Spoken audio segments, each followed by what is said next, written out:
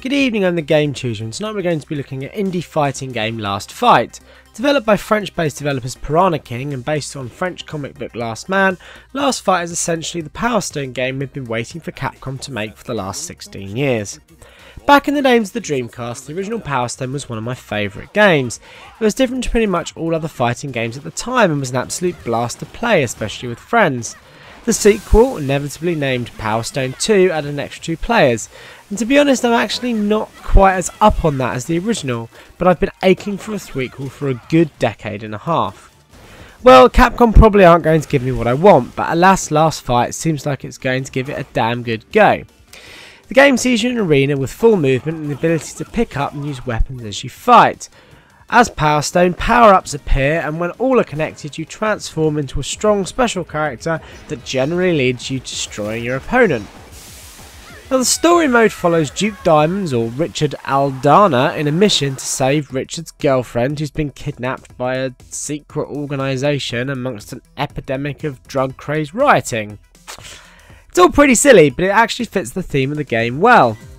The cast of 10 characters feature a wide range from aliens to hobos to goat-faced businessmen to sort of undersea creatures to things that look like it came out of Doctor Who, but generally playing all of them is actually quite similar and there's not a massive diverse range of abilities. There are however four different transformations to experience and these do radically alter the style of play and are all really different. Some are better than others, but all were fun and they also are pretty much a key part of winning a fight.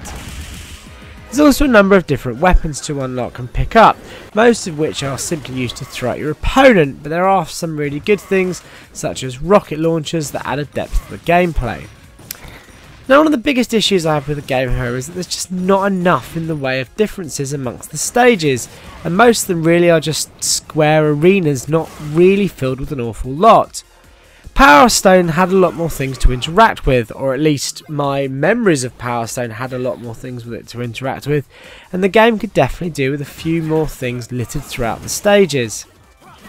The game however is great fun, especially when played with friends. Currently sadly there's only local multiplayer available, which is a shame. As is the case of most indie games, that's probably never going to change and there'll never be online multiplayer. But if ever there was a case for using Nvidia's screen share feature, this is definitely a good one. I've enjoyed playing Last Fight and it evokes a lot of fond memories of Power Stone. Sure it's not perfect but it's a fun game that's worth playing for all fight fans and fans of Capcom's aforementioned Dreamcast brawler as it's probably the best you're gonna get.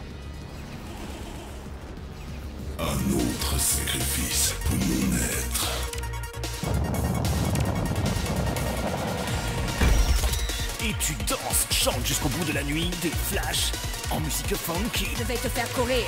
Round one, fight! If you've enjoyed tonight's video, please like and subscribe.